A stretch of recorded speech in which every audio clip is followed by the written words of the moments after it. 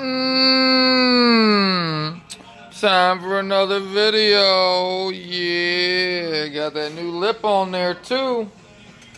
That new MMD V2. Then I put a custom fiberglass extension onto it, you know, curb check. Because it's got some curb rash already, but better than beating up that spoiler. And we added the Le Mans yellow headlight film. That stuff works great. But today, I think the video we're going to talk about is the Gen 2 Coyote. Gen 1 versus Gen 2. What the difference is. Because I have a Gen 2 Aluminator. Let's go. What is going on? So it's been a minute, three weeks, whatever. So I figured I'd make another video now that I have some time here one evening. Um, so we're going to talk about Gen 1 versus Gen 2 Coyotes. What's the difference? Because um, obviously the Gen 1 is technically no longer produced um, through Ford Performance for the Aluminator because um, the 15 to 17's out, so they got the Gen 2, but pretty soon there'll probably be a Gen 3 Aluminator as well. Uh, but I have a Gen 2, um, so I want to talk about the differences and then what I had to do to make this engine work in an 11 to 14. Um, so right off the rip, the Gen 2 is it's the same motor, but it's a different motor. Um, the stroke, the bore, everything's the same. Uh, the Gen 2 had different cams, mid-phaser lockouts, um, different intakes, intake manifold on it. Um, the oiling system was different. Um, the heads were different. Valves, springs, all of that was different. Um, even the internals were a little bit different on the Gen 2. Um, the Gen 2 took a lot of things from the Boss motor is what Ford did. So they took a lot of the stuff they learned from the Boss motor and integrated that into the um, 15 to 17 Gen 2 Coyote blocks. Um, been a long day. I'm tired. So some of the Gen 2 improvements that um, have been done are the uh, larger intake valves, larger exhaust valves, um, intake camshafts, revised exhaust camshafts, which is where I got into the um, the mid-phaser lockouts. But um, it came with stiffer valve springs too to ensure you know the valves close properly at high RPM. So pretty much what they did is the Gen 2 has um, Boss cast heads. So it's a Boss style head, but instead of a ported and polished actual Boss head, it's just a cast version of it. And literally it flows the same. Literally, they they literally tested it. They literally just about flow the same. Um, it's got the boss size intake and exhaust valves, but they're not the sodium filled valves. They're just regular valves, the same size as the boss ones. Um, the cams were a little bit different, but we're not going to get into those because that's not has nothing to do with this setup. But that's one of the reasons why that motor wouldn't work in an 11 to 14 is due to the timing and the cams. They wouldn't work with the 11 to 14 computer. Um, so you have to change all of that out. Um, so the stiffer springs are basically boss springs are what's in these heads. Um, so I didn't really have to change them at all. Um, what was I going to say? Yeah, like I said, the ports have been straightened on the heads. Um, less restrictive, more basically it's a boss cast. Um, they use the uh, boss connecting rods in this motor, they use like stock GT pistons, Boss cast rods, and then the GT crank. Um, and that's what gave the Gen 2 that 800 horsepower holding capacity. Um, was the rods because the stock GT could only handle six. With these internals, the Boss could always handle eight. So can the Gen 2. Um, but I have forged internals, so it has nothing to do with the Boss. Um, that's the Aluminator. Um, but I just want to, like I said, I'm talking about the difference between the two. Um, so the cranks were rebalanced. Um, forged cranks, obviously, to support the higher RPMs. Um, the intake manifold had charge motion plates, which by now most of you've probably read up on the charge motion plates. Pretty much, it was Ford's had that since mid 90s, um, even earlier. I remember they had them. Basically, they had plates like that on the uh, SVT contours. Um, where you can change from long runner, short runner, blah blah blah. Um. Uh. So it had, like I said, it had mid-lock phasers and stuff, which that was because they changed the camshafts and stuff like that. Um, so what we're going to get into is what they also changed was the oiling system on this on this engine. So the Gen 2, like I have, um, so I have the Boss 302 cast heads, 15 to 17. They flow just as good as the 2012, 2013 Boss CNC ported heads.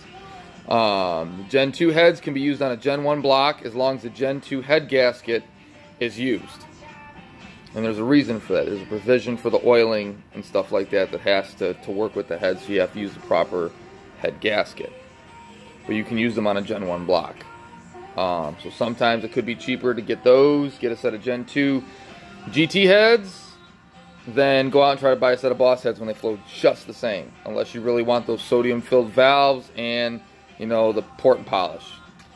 Um, and to make this Gen 2 motor work in a Gen 1, you have to use um, Gen 1 camshafts and Gen 1 timing set. Crank gear, sprockets, cam phasers, all of that has to be from a Gen 1.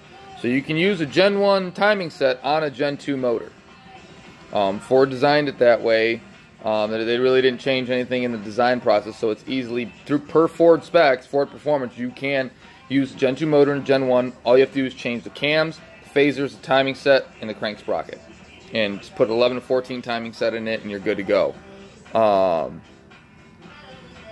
pretty much the um, Gen 2 cams have like Boss lift, 13 millimeter lift versus the 12 millimeter that the Gen 1 had. But like I said, the Gen 2 cams will not work with a Gen 1 computer. Um, and Gen 2 cams must be used with the Gen 2 drivetrain and phasers. You can't use Gen 1 cams in a Gen 2 motor. Um, so let's see here. What else? The valve springs um, are the same valve springs that came in the 2012-2013 Boss 302 engine. Um, so if you want to get springs, you get the Boss 302R valve spring kit from Ford Performance, and um, you'll be good on that. Um, the thing with it with the oiling system is Gen 2 deleted the piston, the oil piston squirters, so they're blocked off. Um, especially in the aluminator, they're blocked off. Um, but they had a revision in the on the Gen 2 block for the oiling system. All right, so um, a Gen 2 block can be used in a Gen 1, but you have as long as you have to use the proper Gen 2 components for the oil filter adapter. It has a different adapter um, they have an added return that requires a matching Gen 2 OFA, oil filter adapter. So it has a return passage that diverts oil from the oil filter adapter. So if you have an overpressure, instead of building up, it dumps the unused oil back into the pan pretty much, back into the engine into the pan. Um, and the Gen 2 block uses 11 millimeter head studs also. Um, so, also the reason you have to use the Gen 2 head gasket with Gen 2 heads on a Gen 1 is the oil passage at the front of the head gasket on the driver side um, of the heads and passengers. They're bigger. The main port that feeds the heads is a bigger port. So on the Gen 2, the reason I like going with that is got it's they, they fix part of their oiling issue with getting oil up to the cams. Um, so you got a higher pressure, more flow going to the top end of the motor on the Gen 2 motors. Um, so compression, um, compression stayed the same throughout the years. They didn't change the compression. Um, the power changed um, from Gen 1 to Gen 2, pretty much based off of what the heads and the cam change. Um, same RPM, they were limited to 7,000. They weighed the same. Still had the same forged cranks. Um, the Gen 2 had deeper valve reliefs because of the cam timing and stuff on it. Um, and like I said, the intake and exhaust valves were Boss style. So pretty much on this Gen 2 um, Aluminator, what you get is is you get the Gen 2 50, it's a 15 to 17 production block. It's got the piston oil squirters blocked off. It has the revised head gaskets in block for the oiling system. It has a return port on the oil filter adapter housing to return unused oil back into the pan so you don't get an overpressure. Um, it has cast boss heads, which is what's on this aluminator as well, which the aluminator comes with. It's it pretty much, the aluminator is a 15 to 17 motor, and the only thing they did different is they put a boss crank, Manley rods, Mahle pistons, boss bearings, billet oil pump, bigger pickup tube, the oil pan, the Cobra Jet tone ring on the back, and that's pretty much it. Pretty much a 15 to 17 with forged internals is what they did. Um, they're rated for anywhere from 1,000 to 1,200 is what they can handle with the crank. Anything over thousand, you're starting to push your limits um, with the cylinder walls because they're not. They're, they're, it's not like this block's not sleeved. It's just right off the shelf from Ford Performance. Um, but there's guys out there running 1200 at the crank, 1000 at the wheels with these motors, and they're running them all day. Um, I'm right around 900 at the wheels. I'm cool with that. I'm safe with that. That gives me leeway. You know, I don't want to do an overboost and uh, you know, fuck up the motor or you run too much pressure for too long and you're just putting too much stress on the cylinder liners and you end up cracking one of them. Because um, that's the other downfall they didn't fix with the Gen 2 is there's no coolant jacket supports in the Gen 2 motor. Even the Aluminator, there's no supports. Unless you buy the Ford Performance Race Prep block, which that one comes with the supports in it, just like the 5.2 Voodoo motor does, um, which is in the GT350. Um, you're good for about a thousand horsepower all day with the aluminators. Now, if you want to go to a sleeve block, you can do that. You'll spend roughly anywhere from 2,800 to $3,500 just to sleeve the block. That's not even including the price of the block. That's just to sleeve the block. So you can write around a $3,000 option to get it done. Um, but once you get a sleeve block and you get it with the support system, which is the coolant jacket reinforcements that are welded in, pretty much that block can handle whatever the fuck you want to throw at it. 1300 horsepower, 1500 horsepower. It'll it'll handle it until something breaks. Um, so maybe eventually I'll build a sleeve block for this, but I'm happy with what I got. I can drive it on nice days. It's not set up for an everyday driver. It's not a daily. You guys seen videos of this car, um, some pictures of it here and there with the engine bay. It's it's not a daily driver. It runs on E85. so if I had to do an aluminator build, I would go to Gen 2. Um, and you could source Gen 1 parts and get them forged, but the Gen 2's got the revised heads. It's got the revised oiling system. Um, it's got good internals in it. So, and then when you get a, see if I still have it here. Um, I might have put it in basement. When you get a aluminator. Is this it? Yep. So, when I got the block, I thought it was kind of cool. I will uh, show you here. So you get this, for Performance. And it's got the name of the guy or the person who built your actual short block.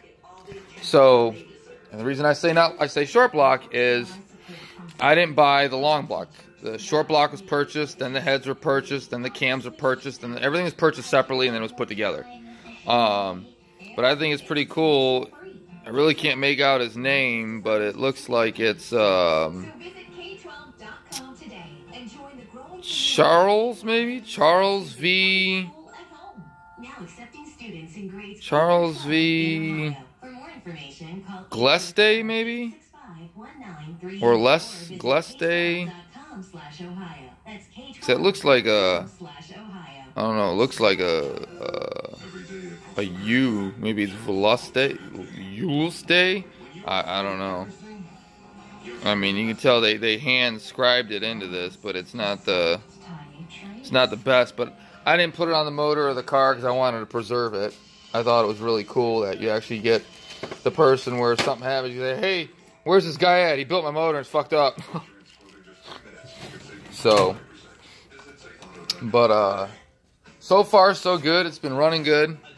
Um, hopefully, I can get someone to I can get some some past videos done and I can get that up on there. Uh, if you guys want, post comments below. Let me know what you wanna uh, want me to talk about next on this build. Um, still many more videos I can make, but uh, I'm just going one by one down the line. If something you want me to talk about or whatever, then post up and uh, I'll make a video. All right, peace. You know what I love? I love being able to drive at night.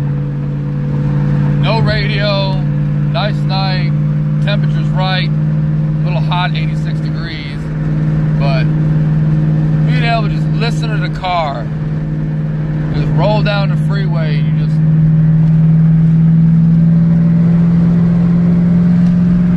I mean, there's no better sound, no better feeling. It's you in your car, just chilling, rolling down the freeway. I usually listen to music, but man, I just, tonight I just feel just drive with the windows down and listen to the car just roar down the freeway. Ah, no better feeling sometimes. It's peaceful, it's calming, and it just so relaxing to me sometimes. What do you guys do? You like just listening to your drive down the freeway, windows down, no radio, just chilling, listening to the sounds in your car, bounce sounds bouncing off the walls. Let me know. Hit up in the comments.